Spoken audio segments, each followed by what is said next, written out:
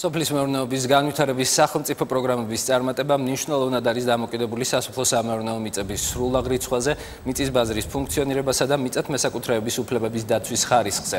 როგორც ეკონომიკის მინისტრი აცხადებს, ამ ხრივ პრობლემას დიდი რაოდენობით არარეგისტრირებული მიწები წარმოადგენს. დიმიტრი კუმსიშვილი მოუწოდებს მოსახლეობას იმ შემთხვევაში, თუ მათ საკუთრების დამადასტურებელი რაიმე სახის დოკუმენტი გააჩნიათ, მიწები დროულად დაარეგისტრირონ. ჩვენ მოსახლეობას მინდა მოუწოდო, რომ თუ მათ გააჩნიათ საკუთრების დამადასტურებელი მოწმობა, რეფორმის შედეგად მიღებული საბუთი ან სხვა საბუთი, ძალიან ვთხოვო მათ, რომ მოინდომონ და დაარეგისტრირონ აღნიშნული საჯარო რეესტრში, იმიტომ რომ ჩვენ დღეს ამ მიმართულებით შეგვიძლია რომ ძალიან სწრაფად წინ წავიწიოთ და შესაბამისად რეიტინგებში, რეიტინგებში ძალიან მალე უკვე ახალ გადათვლილ რეიტინგებშიც კი ძალიან მალე წინ წავიდეთ.